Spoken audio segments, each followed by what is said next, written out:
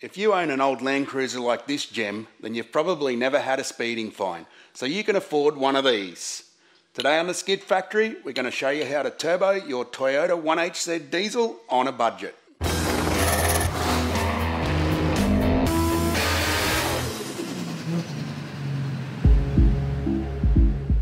Welcome back to the Skid Factory. You might remember this gem of an 80 series from a previous episode where we took the shorty up the beach and may or may not have saved this from a bog hole.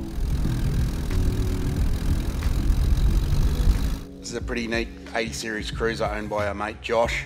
He's kept it like pretty much all original right down to the engine. It's completely unmodified. It's got these beautiful retro stripes on the side of it. Old wheels, it just looks great and it's a bit different from your usual cowboy tune spec four drive you might see with every accessory under the sun. It does, however, suffer from the same thing that most 1HZs do, and that is a complete lack of power. There's a reason for that. As you know, Toyota designs things to last, and to do that, they make them not put out any power, which really makes something last a long time. And this is no exception. These things put out about 75 horsepower at the wheels as standard, and it is a big engine, so of course it's going to last forever at that rate. They are really quite frustrating to drive because of that, so the best answer to fix that problem is to stick a turbo on it. And surprisingly, it's not that hard to do on these things. I've done heaps of them over the years with both aftermarket turbo kits and um, custom made ones. So today we're going to show you how I've done it in the past using a Subaru turbo for a change bit of a thing. And uh, just some smarts, I guess. We're going to use our brains instead of spending money. Let's go. There's a lot of ways you could go about uh, turbocharging a 1HZ. The main thing is that you get 10 pound of boost into the end of it because that's what's going to make the difference. You can buy a, an off the shelf kit. They work really well and the ones that I've used made in Australia, they fit excellent. Uh, there's there's a bunch of other ones you can you can also get um, that I haven't had experience with, but it all comes down to your budget. Uh, generally speaking, they are quite good value though. So um, the second thing that you've got to that you could consider is uh, an intercooler to go along with it. In my experience, the turbocharger makes it 50% more powerful and an intercooler makes it 55% more powerful, but the complexity is much higher, your fabrication, that sort of thing. So um, I don't believe it's worth putting an intercooler on it at, at this point. Uh, you get all the gains from the turbocharger. Uh, it's very good value. Third thing is exhaust system. This car, we are going to put an exhaust on it. The exhaust is quite cheap. It was about 500 bucks for a three inch exhaust you don't need the exhaust at all. You can just connect it up to with with some customization to your original exhaust system, which is what most of the aftermarket turbo kits provide. Is just a front pipe that then connects. Uh, it probably won't make any more power from having the exhaust because the exhaust that's on it's quite reasonably sized for that size turbo. But in this case, what sparked this whole thing was that the exhaust bellows that comes off the front pipe, it split and it's been spurting out soot for ages. So Josh was going to get that fixed, but we decided that it would be better value to put a turbo on it instead. So here we are. That's how we roll. Uh, the last thing you've got to consider is the removal of the sump to put the oil drain in. You can do it without removing it. I've done that many times. That's how it is specified to do on some of the turbo kits, and it works very well. Never had a problem. It is a bit daunting though, drilling holes or spiking holes in a sump. But the thing that you really got to consider is that this engine's got 380,000 kilometres on it, and that's low for 1HZ. 1HZs have problems with, and 1HDTs, with just bearing wear, just from age. So what we do is pull the sump, clean it all up, weld in the fitting, and then we'll, we will actually put new uh, big end bearings in it. Um, they're very reasonably priced and it just makes sense to do it while you're there. It's a known problem, and you're also increasing the power and torque output by 50% on it. So it's it's obviously if it's a known problem, it's probably going to be a problem in the future. So going to wreck your good vibes if you put a turbo on it and your engine dies 5,000 kilometres later because it was already worn out. This is the turbo we're going to use. It's a VF39 IHI off an STI or an EJ257 Impreza. We're only using this because I know that this flange pattern is sort of going to match the exhaust manifold via an adapter plate because I've done it before. You can use any turbo you like around about this size. This is probably uh, 47 inducer, 47 exducer around about. So a 2860 Garrett, a TD05 Mitsubishi turbo, commonly used on them. It doesn't matter. We're not talking about a high performance engine here. We're talking about just getting it to go up a hill. So your, your fancy stuff, it's just not relevant to this. All you need is a turbo about that size because it's going to respond properly and because it's going to provide the boost and last. We've got a couple of extra little bits here. We've got a, uh, an adjustable wastegate actuator from GFB. This means that we can just change a spring and get our boost pressure correct without using pneumatic controls and that sort of thing. We've got a, a flash outlet there that's just something that I had lying around left over from previous projects to change it to V-band. And the rest of it's just getting stuck in and making it work. Let's do it.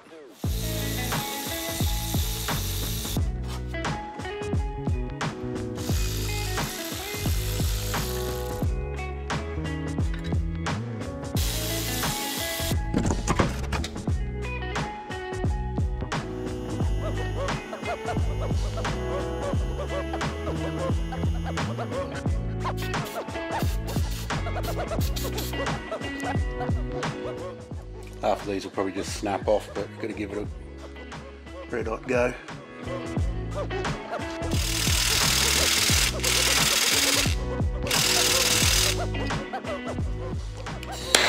There's always one that needs the torch, but in this case it's all of them.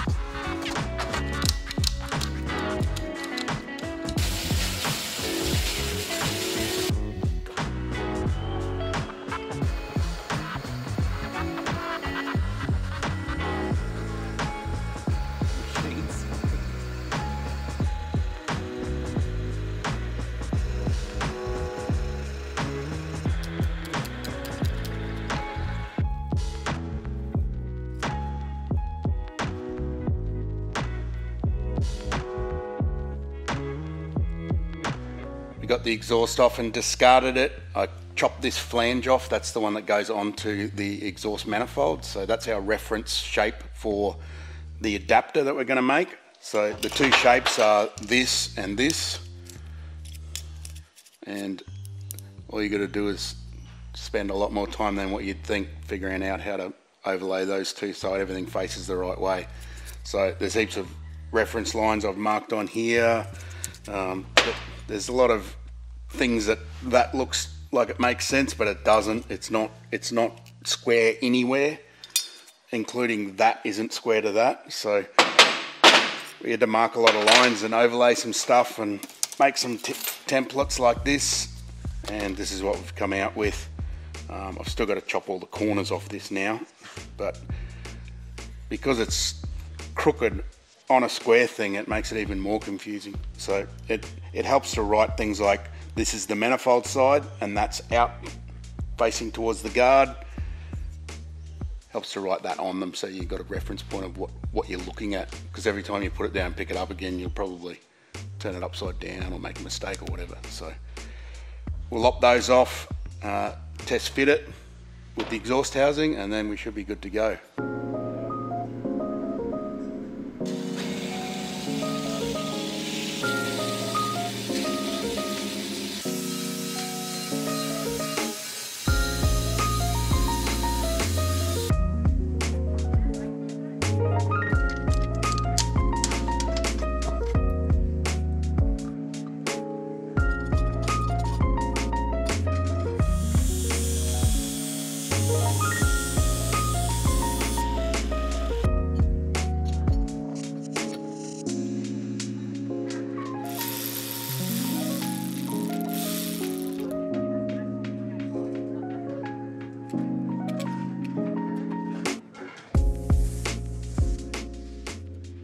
We got the turbo all assembled on the bench, ready to go on the car, apart from the wastegate actuator.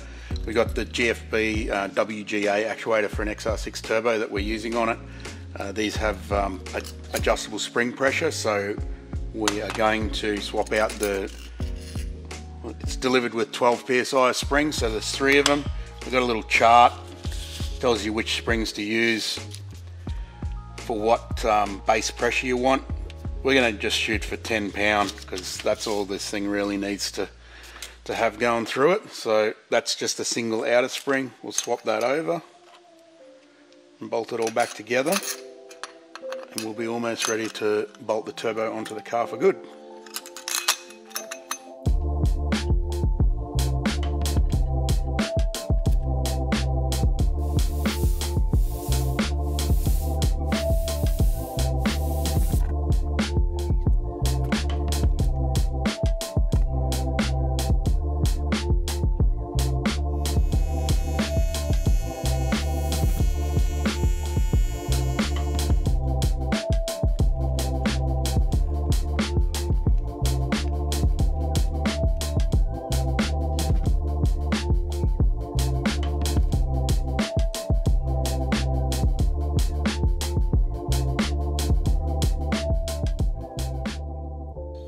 Making good progress. The adapter plate's all sorted. Took a little bit of just thinking and making sure that everything was on the right way around, but uh, she's all on there now. I'm, this was something that was in my head from years ago, and I'm, I'm pretty happy because it actually still works the same as what I remembered.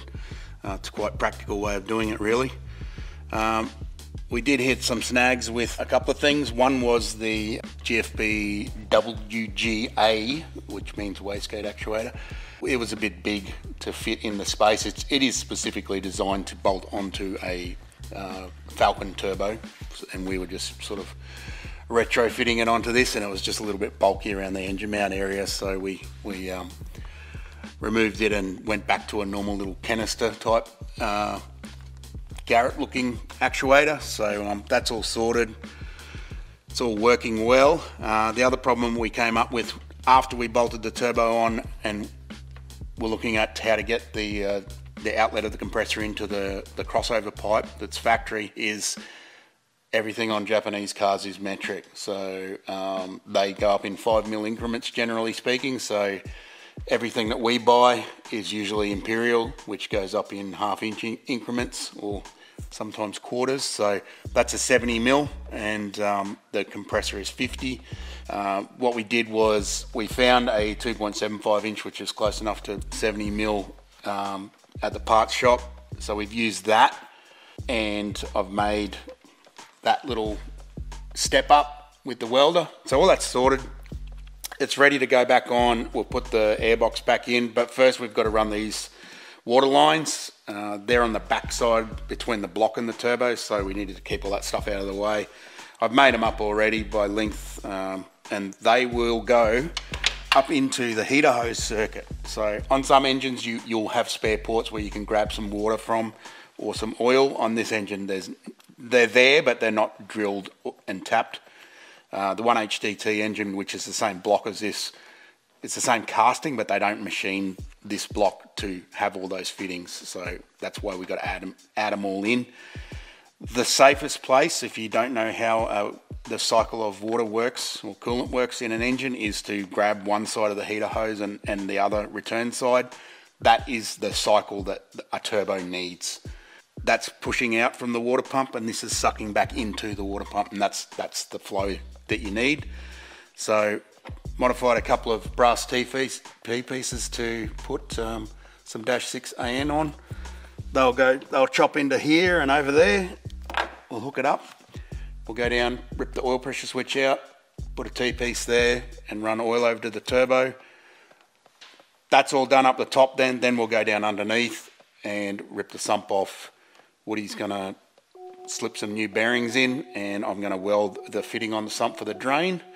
And then after that, all you got to do is fit up the exhaust and modify it to suit the new turbo.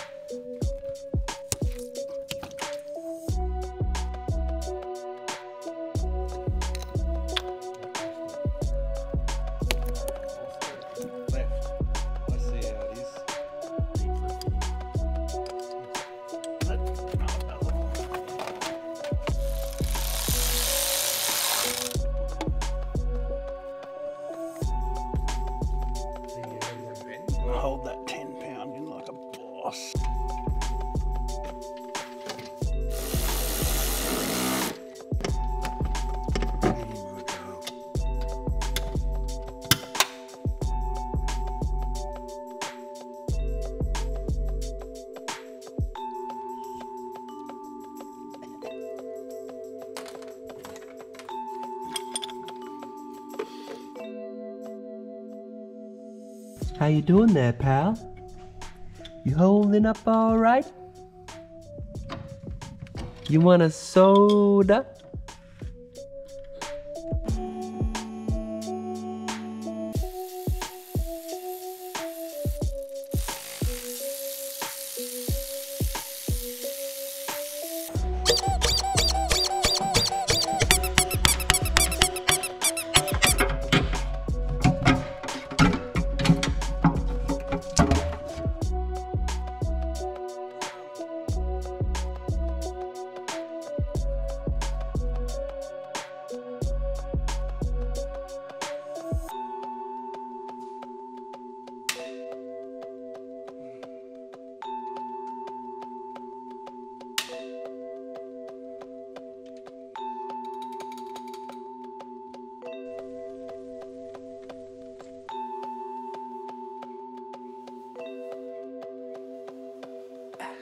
As Al mentioned, replacing the big end bearings is a job that you don't have to do, but it is recommended, especially that this vehicle has 380,000 Ks on it.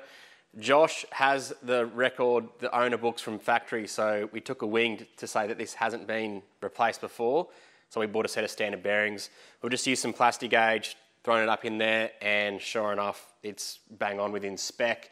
Number six, we pulled one off, and the bearing material actually had fallen out. So I think that's what was actually happening from factory. They actually had a, like an unofficial recall on these to get the big ends replaced in from Toyota. So our mate tells us, Evan, thank you for the advice. So we're just going to smash these back in with some bearings. I'm only going to test the one. I'm happy with that. So long as the rest of the bearings have the same numbers on them, I'm happy to call it and send it.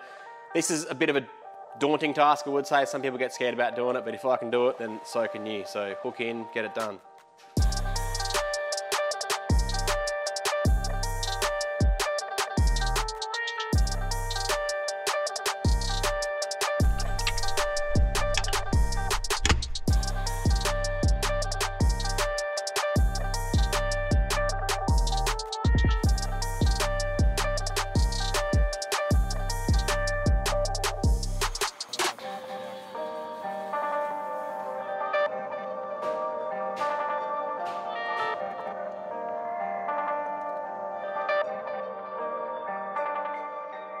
While Woody's sorting out the bearings in the engine, I've got the sump, I've given it a clean up, and I'm going to drill a hole in it for the oil drain.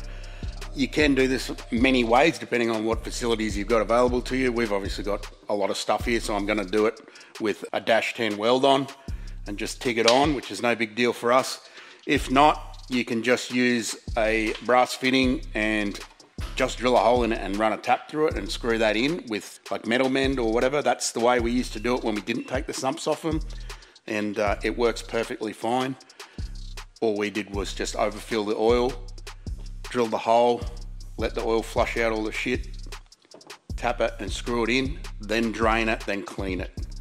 Uh, never had a problem with it, and it's the way that many of the uh, the aftermarket turbo kit um, manufacturers say to do it. So it is doable. Doesn't sound like the greatest idea, and particularly because you probably should put bearings in it, you may as well take the sump off. It's not that hard to do. We're gonna drill a hole, pop that through. I'm gonna weld it mostly on the outside and then weld the inside for the full seal because it's much easier to get at and it's gonna be less heat.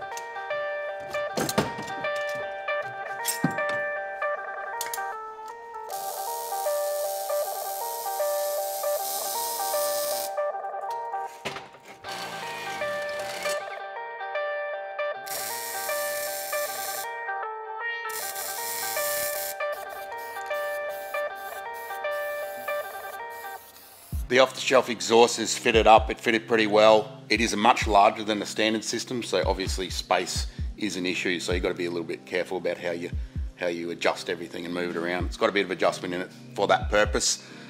We need to do some monitoring of this, um, so Josh can keep an eye on it while he's driving it. The the biggest killer of these things is uh, exhaust temperature. Well, it's not exa- not exhaust temperature, but that is what you monitor to figure whether your engine is about to die or not. So we went down to Supercheap and grabbed a couple of gauges, just basic boost and exhaust gas temperature. This is a, kind of your minimum for monitoring older engines where fiddling with that fuel screw makes it nice and smoky or you know you can impress your girlfriend by putting soot everywhere but that's really you're you're playing with fire as far as blowing holes in pistons and stuff like that. And this is kind of the indicator for whether you're going to get away with it or not. So it's a minimum standard. Whack one of these in. I've welded a bung into the into the new bit of front pipe there. We'll just screw this in, wire up as usual up inside the car there, and we'll be able to head off to the dyno and uh, see how it goes. Got the 80 back on the ground. We're nearly ready to fire it up. We're just doing some final checks. We've pre-oiled the turbo with an oil can just to make sure it, the bearings all got, got oil in it as it starts up because oil pressure will take a little while to come in. The oil pressure to the turbo comes from the oil pressure switch port, which is on the other side of the block near the starter motor. There's no other port for to get it from on this particular engine, so we have to pull the switch out, put a T-piece in, and then screw the switch back into one port of the T-piece and then the AN line goes into the other port. We've got Raceworks 200 series AN on both the oil feed and the water lines on this and 400 series on the drain. I, I recommend you use 200 series on the oil and water lines uh, to the turbo. It's a very hot environment and they're they're cramped up against the block for the water lines, so it's just a it's going to be the most reliable product to use even though you could use something else. So we've got our gauges all sorted. They're just been sort of put in the dash. Josh didn't want them anywhere that was visible and they're only kind of a, a, a, glance at reference sort of gauge every now and then. So they're all in there, basic stuff, just power ground, illumination, so that they've been patched into some, some existing wiring and they're good to go. So let's fire it up and see how it sounds.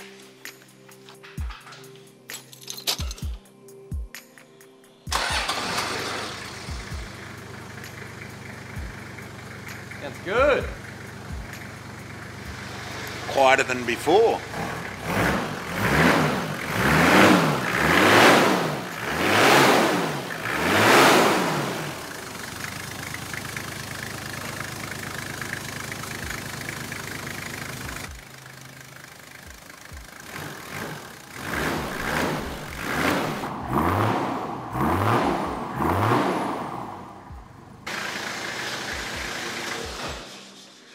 Everything's looking good. Sounds pretty nice. Got that 1H ZD noise going on about it. Sounds like a diesel. Uh, after you've after you've fired it up, have a quick look around. Obviously, visual check for leakage, that sort of thing. Um, these engines will take it bloody half an hour to heat up because it's a diesel. So uh, the the water side of things you've got to leave for a little while. We only lost a dribble anyway when we when we cut the heater hoses. Uh, I also normally like to just jump under and pull the oil drain off the turbo if it's accessible. Sometimes they're not, and just see that there's oil dribbling out of it because that's going to let you know that, that your oil feed is working. It's, it's the, the most practical way of doing it.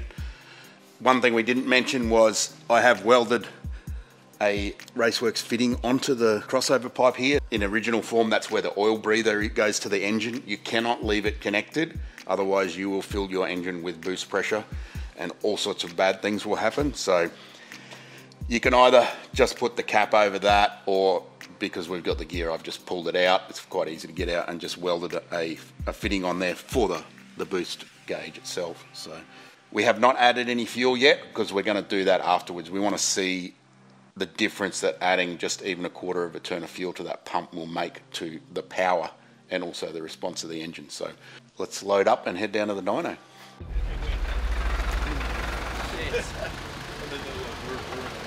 All right, we made the trip down the highway to see Chris, or Chappie as his mates call him, at Evolution Tuning. Last time we were here, I think we brought the patrol down to Yeah, the Cummins. Yeah. to uh, Blow give it a run. plugs out. Yeah, blow Welsh plugs out, all, all sorts of fun stuff. But Yeah. uh, we're not going to do that this time. Plan is not to. Plan is not to go that hard. No. You know a bit about 1HZs, obviously. Yeah, You we play around with them a fair bit. So this is a pretty tidy old girl. So I think the uh, docket for today is to not go crazy, but we just want to make a little bit more power than they come with standard. Usually they roll 60 horsepower, give or take. If we can get 100, 120 in that window, I think that should be fine. for what we're trying to 120, that's double the power, dude. Like, that is a.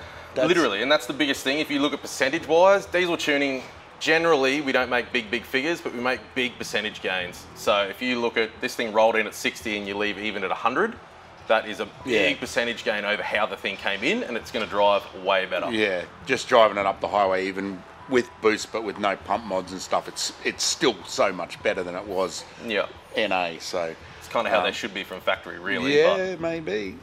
We'll see. What do you reckon about this?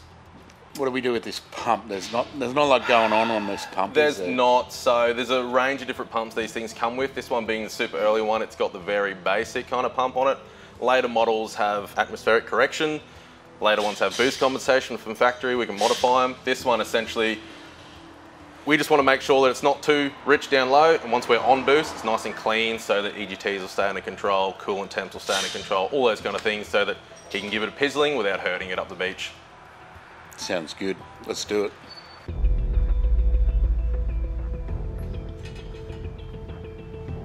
You're in beer time now, mate. You're in my time. Oh,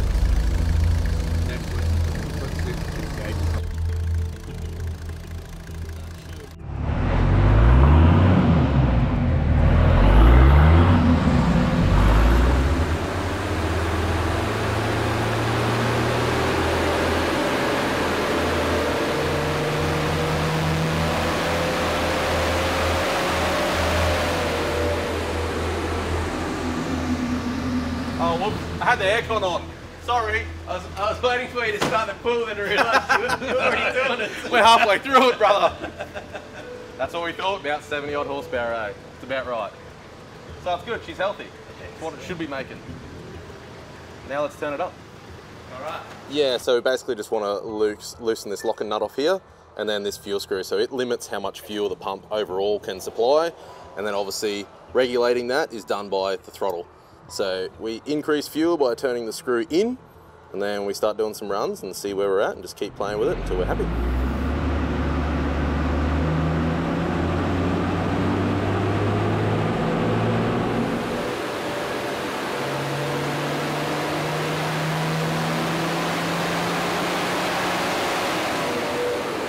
Ninety nine.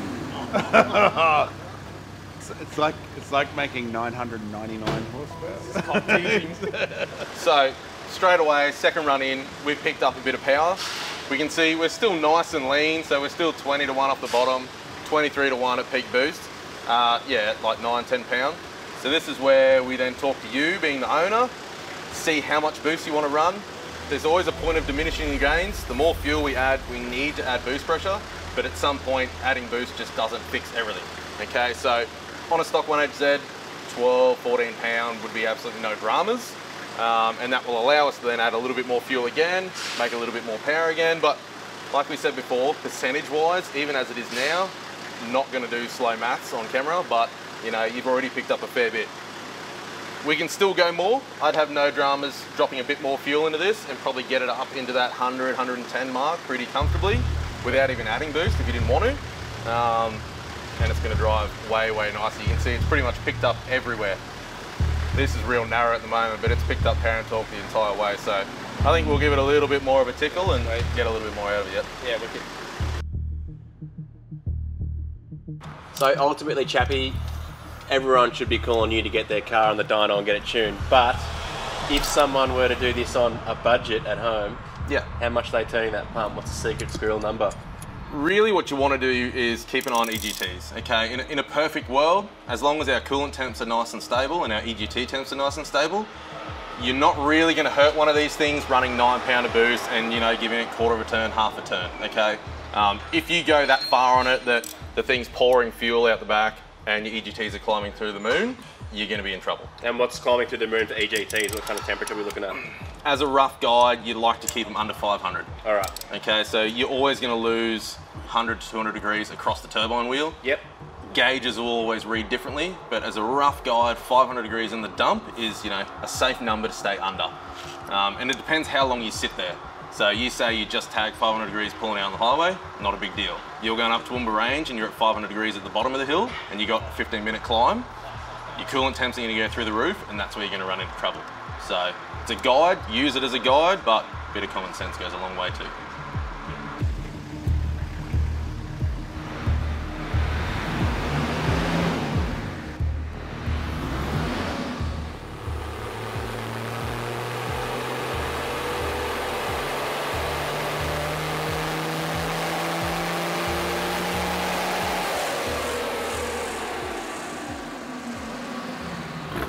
We've made about a 50% gain over when we arrived to now, which is pretty impressive. Uh, the car actually drove really nice. I drove it for a, a portion of the way down here, and I thought it was was pretty good for an old 80. So um, we're pretty happy with that. Um, intercooling, it's going to be a question. at this power level and the fuel and boost we're kind of putting in it, it's not really necessary, okay? The harder you want to push these things, like we kind of mentioned before, it's all about heat management. The more boost you run, the hotter that air is, we want to remove that heat.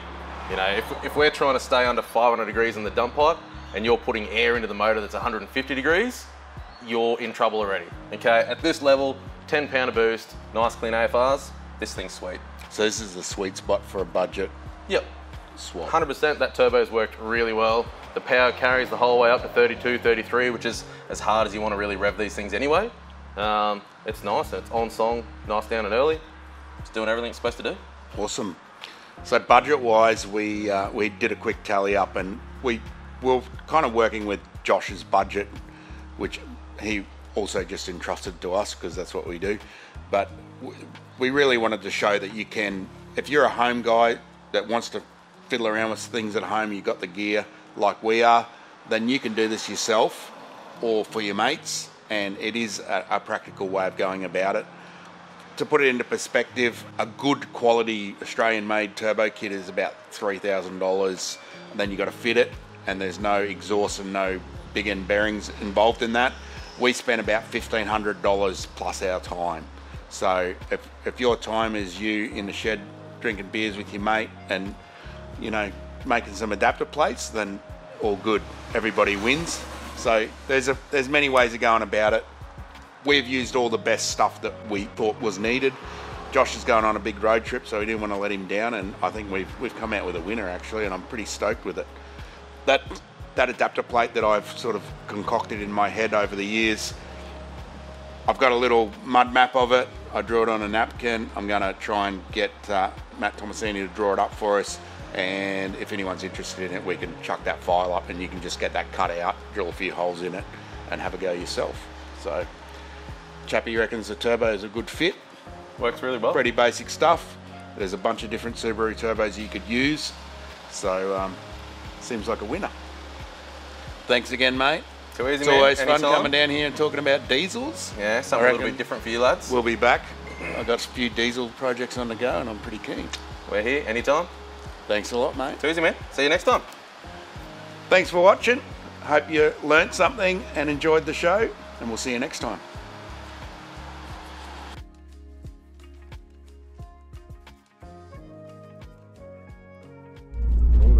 Would say peg it, but this on ramp's got a corner. It's probably not great. Into it. oh, insane. Doesn't take 20 seconds to get to 110. Never has 110 horsepower been so I know, right? But how much soot do you require to impress the female? They don't physician? actually. It's never actually. There's no standard of how much soot you need, but according to stickers I see on many D22 Navaras, it is a thing. Are you sure If about you that? have soot, you will get a girlfriend. Where are you seeing these stickers? Is that like Is this uh, Caboolture On any D22 Navara. Twitch or something? Quality of I don't know. I'm- female is. I try to avoid D22 Navaras, but they're out there, and you can pretty much guarantee that's where you're going to find that I'm particular. surprised you didn't take a chance to rip on TD42s, bro. Oh, it's too easy. There's a whole page for that. So if you had the choice between a TD42 or a ZD30, what are you picking? Um, probably a TD42, although Yeah. it's kind of like w- which which burning pot do you want to jump into? What about a QD? QDs don't break because they've got as much power as a 1HZ. And then what about a YD25? They're not too bad, but way too small. You need two of them for. They need like a YD50 for patrol. That'd be cool. yeah. I should have worked for What's this. hang on? What's the V9X? That's Renault, isn't it? Yeah. Is that not? Don't speak of that either. Anyway, I mean, every diesel blows up for some reason or other, so everyone's got a story. But except 1HZs with no turbo, they never blow up. Go, man. Like get a hernia? yeah, get a photo of me. Turbo upgrades. There you go. Upgrade. That wouldn't even come on boost. No, it wouldn't. It probably wouldn't go up a hill either because of the weight. Time to do squats. I don't know what it weighs, but she's got some.